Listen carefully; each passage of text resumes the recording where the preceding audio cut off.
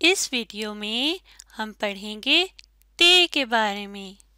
ये है ते। इस शक्ल को कहते हैं ते और ते के ऊपर दो नुक्ते होते हैं। ते की आवाज़ है ता।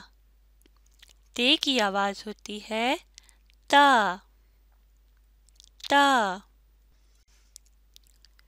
बताइए, ये क्या है? तरबूज, बिल्कुल सही। तरबूज गर्मियों का फल है। ते, ता, तरबूज। मेरे साथ बोलें, ता, तरबूज। ता तरबूज। ता, तरबूज। बताएँ, ये क्या है? तितली, बिल्कुल सही। तितली जो फूलों पर बैठती है। ते, ता, तितली। मेरे साथ बोलें, ता, तितली। ता तितली। ता, तितली। बताइए, ये क्या चीज़ है? तोहफा, बिल्कुल सही। ते, ता, तोहफा। मेरे साथ बोलें, ता, तोहफा। ते तोहफा। ते तोहफा। ते की आवाज़ क्या है? ता, बिल्कुल सही। आपने इस आवाज़ को याद रखना है। आइए, अब हम ते को लिखने का तरीका सीखते हैं। नुक्तों को मिलाते हुए आहिस्ता आहिस्ता पेंसिल को आगे की तरफ़ बढ़ाइए। इस तरह से आहिस्ता आहिस्ता पेंसिल को आगे बढ़ाते हुए हम ते की शक्ल बनाएँगे। पेंसिल को ऊपर की तरफ़ आहिस्ता आहिस्ता बढ़ाएँ और आखिरी नुक्ते पर पेंसिल को रोक दें। अब ते के नुक्ते लगेंगे। एक, दो। ते के ऊपर दो नुक्ते होते हैं और इसकी आवाज़ होती है ता। दोबारा लिखते हैं। नुक्तों को मिलाएँगे। पेंसिल को आहिस्ता आहिस्ता नुक्तों के ऊपर लाइए और नीचे की तरफ़ बढ़ाएँ। इस तरह नुक्तों को मिलाते हुए अब पेंसिल को ऊपर की तरफ़ बढ़ाएँ और आखिरी नुक्ते पर पेंसिल को रोक दें। और ते के ऊपर तीन नुक्ते लगेंगे। माफ़ कीजिएगा, दो नुक्ते, एक, दो। ते के ऊपर दो नुक्ते होते हैं और इसकी आवाज़ होती है ता।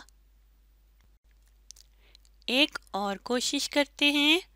बार बार लिखने से आप बहुत अच्छा लिखना सीख जाएँगे। नुक्तों को मिलाते हुए पेंसिल को नीचे की तरफ़ लाएँ। इस तरह। और अब पेंसिल को आहिस्ता आहिस्ता ऊपर की तरफ़ बढ़ाएँगे। और आखिरी नुक्ते पर पेंसिल को रोक देंगे। और ते के ऊपर कितने नुक्ते। दो, बिल्कुल सही।